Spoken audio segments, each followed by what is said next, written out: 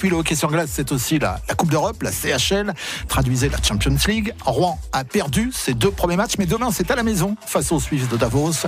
À J-1, on met donc les patins pour accueillir l'entraîneur du RHE, Fabrice Lanris. Fabrice, la CHL, la Champions League prend ses quartiers à Rouen cette semaine avec deux gros matchs. Hein. Demain, les Suisses de, Davos. Samedi, ce seront les, Suédois de, de Djurgarden. Alors pour ceux qui étaient en vacances, petit rappel, vous avez perdu vos deux premiers matchs, 4-1 en Suisse, 4-0 en, en Suède. Avant de parler de ce qui vous attend demain, un petit mot quand même sur les conditions sur lesquelles vous avez euh, préparé ce, rendez-vous. Le, haut niveau, c'est l'intensité. Le haut niveau, ce sont les détails. Comment on peut préparer un rendez-vous aussi important euh, sans ces internationaux? Bah justement, euh, déjà, on a, quand même continué à, s'entraîner et à faire des matchs amicaux malgré les, toutes ces absences. En plus, on avait.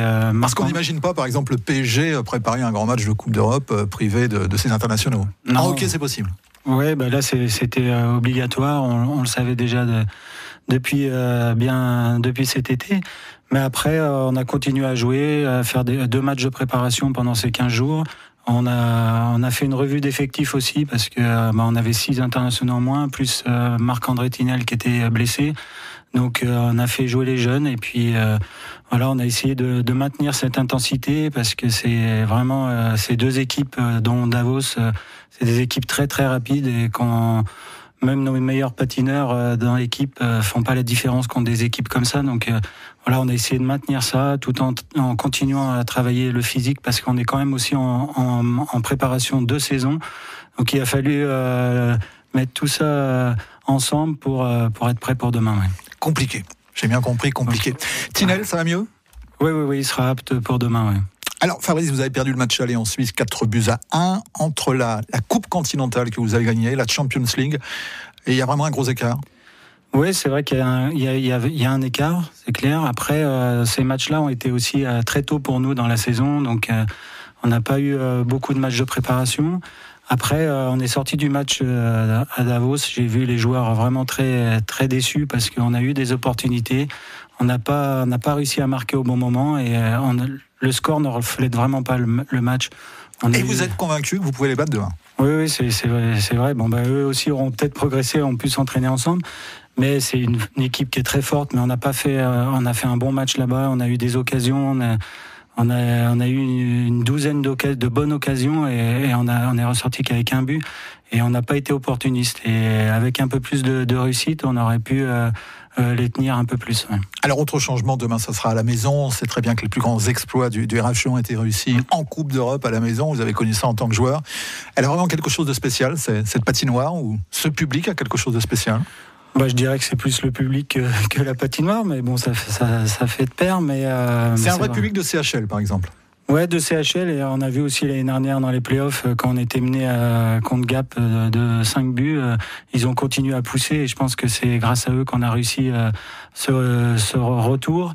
Et c'est vrai que pendant les coupes d'Europe, bah, ça a toujours été le feu à l'île de la Croix. Et j'espère que demain, ça sera la, la, même ambiance et puis qu'ils vont nous pousser et qu'on va réussir un, un bel exploit à gagner notre premier match de CHL. Luc Tardy, vous qui voyagez beaucoup, ce, ce public, on vous en parle, ce public de Rouen? Oui, oui, et puis en plus, euh, euh, on, obtient souvent euh, des compétitions en Coupe continentale, c'est pas pour rien. Parce que non seulement ils sont là, présents et encouragent leur équipe, mais c'est des amateurs de hockey sur glace. Et le match où l'équipe de Rouen n'est pas concernée, c'est plein aussi. Mm. Donc à chaque fois, ça, surprend. D'ailleurs, on est allé en Norvège, les matchs où la Norvège jouait pas, ça faisait un peu vide. Et d'ailleurs, ça faisait un peu vide, et, sauf les, supporters de, de l'équipe de France qui étaient entre 50 et 60, dont les trois quarts sont des Rouennais. Mm. Donc, euh, comme quoi, euh, vraiment, il y a, y a ils ont eu le virus et, maintenant ils, connaissent euh, le haut niveau. Donc quand il y a des rendez-vous comme ça, ils ne le ratent pas. Hein. Fabrice Davos, c'est c'est du lourd, hein, comme on dit. Je crois que c'est dix fois la, masse salariale de, de Rouen. C'est le demi-finaliste de la dernière Champions League. C'est pas rien quand même. Non, non, c'est vrai que c'est une équipe renommée en Suisse. Et puis c'est une équipe qui est vraiment euh, basée sur le jeu offensif, très rapide et avec un entraîneur euh, mythique. Je, je, le, je peux le comparer un petit peu à Giroud. Ça fait 20 ans qu'il est là-bas. Il a ses méthodes de travail qui sont, qui sont reconnues et qui ont beaucoup de succès. Et euh, là, je sors justement de l'entraînement de, de, Davos et c'est vrai que demain, il va falloir être prêt dès le début parce que l'intensité était déjà là cet après-midi. Alors, c'est difficile toujours de faire des comparaisons, mais est-ce que votre équipe cette année est aussi forte que celle de la dernière, plus forte, moins forte? Elle est différente. On a, on a recruté pour avoir un peu plus de vitesse, justement pour euh, les matchs comme la CHL et tout ça. Et on est, on est assez satisfait des, joueurs qu'on a recrutés. Après, il y a, y a, y a tout toutes les habitudes à, prendre ensemble, ce qu'on n'a pas pu encore euh, vraiment réussir, mais il y a eu, il y a eu vraiment des bonnes choses en, en les deux matchs de CHL, et je pense qu'on peut encore beaucoup progresser. Parmi les nouveaux joueurs, quel est celui, à votre avis, qui va plaire le plus aux, supporters?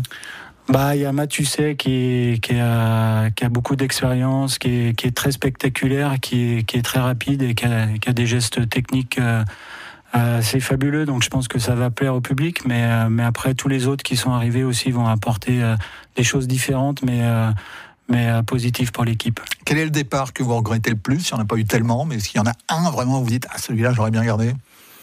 Non, bah non, j'ai pas de regrets. Je veux dire, tous les tous les joueurs, ceux qui ont décidé de partir, voilà, il faut faut tourner la page. Moi, moi j'ai déjà quitté des clubs aussi, et je suis plutôt plutôt mon, attitude, c'est plutôt regarder vers l'avant que regarder derrière.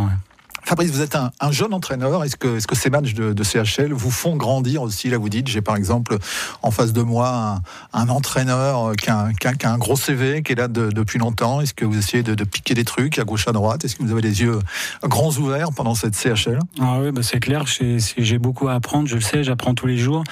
Après, euh, justement, j'essaie d'aller voir le maximum d'entraînement. Euh, en Suède, il y avait deux équipes à Stockholm qui s'entraînaient. Il y avait euh, un camp d'entraînement de, de, Chicago avec tous les tous les jeunes joueurs euh, NHL plus euh, tous les Suédois qui étaient présents à Stockholm qui s'entraînaient deux fois par jour. Donc c'est vrai que je passe mes je vais toujours regarder, il y a toujours à apprendre, à apprendre quelque chose sur les autres entraîneurs, comment ils, ils travaillent, et puis après essayer de les remettre pour, en place pour son équipe. Allez, on va vous demander de, de, vous mouiller tous les deux avec un petit pronostic. On va commencer par Luc.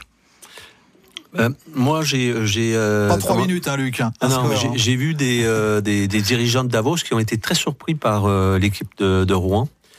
moi, je pense que le Rouen va gagner un des deux matchs. C'est ce qui s'est passé l'année dernière avec nos deux représentants. Je pense que à domicile. Bon, est-ce que c'est Davos, est-ce que c'est Dusgarden Je ne sais pas du tout. Moi, je dirais plus Davos.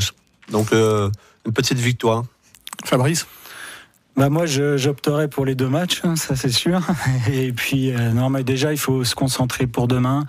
Euh, S'il y a une histoire de goal à à la fin, on sait qu'on a déjà trois buts de retard, donc euh, il faudrait euh, battre Davos par trois buts. Merci à tous les deux. Belle semaine européenne à Lille-la-Croix. Demain face aux Suisses de Davos, samedi face aux Suédois de Djurgarden de Col de première catégorie.